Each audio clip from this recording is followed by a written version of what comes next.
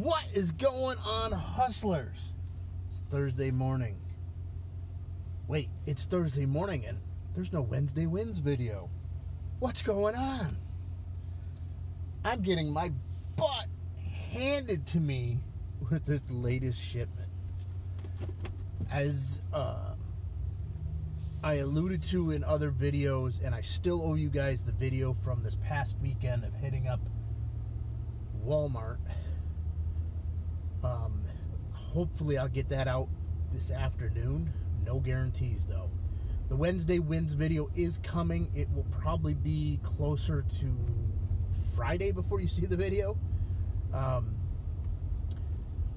all of the purchases I made, plus wholesale, plus some online arbitrage, kind of all came in at once. So I was prepping all the shipment. Actually, that's what some of these boxes are here to go to Amazon, and the numbers are are awesome. And I'm looking forward to sharing those with you on the Wednesday win video.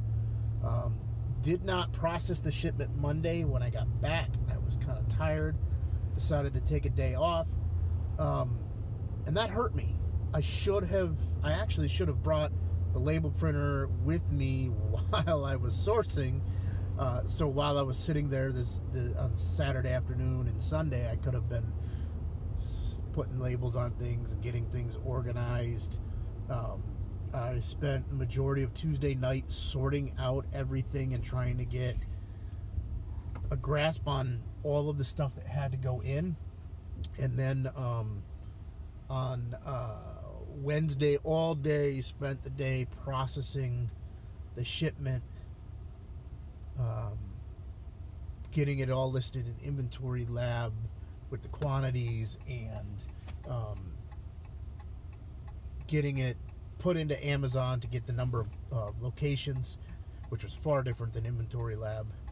Um, but we'll get into that on the Wednesday wins video. So then I started working down through packing boxes, uh, getting everything ready to go. I get to the last distribution center, and it's the largest one. It's 191 pieces. I end up in three large Home Depot boxes plus a small. I get done with the last one, and all along I'm saving the information in the web form, saving it for later so that I don't lose anything. And then I say calculate the price, and it pops up this little thing telling me I cannot use the web form because I have too many items in a box.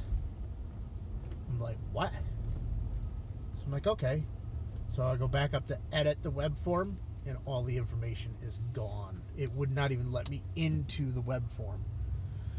At this point it was probably 11:30 last night and I said that's it. If I got to go back through and re-inventory those boxes, I'm actually I actually debated whether or not it was worth it to spend the money to let Amazon do it. It'd be about $19 because it's 191 items but it, that's not not the case of it. Nineteen dollars is worth it versus me having because those things are packed tightly with like no space anywhere. I utilized as much space as I could in every single one of those boxes, but it's the delay in it hitting inventory is what would kill me. This stuff is going to sell quick. I need it in and out. I don't need another week or two week delay added for them to uh, inventory what's in the boxes because I didn't provide a box count. So I will this evening go through those three large boxes. The small box, I knew exactly what was in it. There was only three items, um, or three SKUs. Um, so that one was easy to pull out of my head. The other ones I couldn't tell you. Everything bled together what was in them. So I'm going to dig through those tonight and uh, hopefully get that straightened out and get those shipped out. The nice thing is that is the distribution center that literally once I drop off the boxes to FedEx the next day, they are there. Um, and usually they're pretty good about processing them in within a day or two. So we could be looking at early next week this stuff hitting inventory, which would be awesome. So that's about all I got for you today. Uh, wanted to keep this short, but wanted to give you an update why you didn't see a Wednesday wins video. It is coming. I will share those numbers with you. Uh, like I said, this is probably one of the largest orders we've sent to Amazon to date.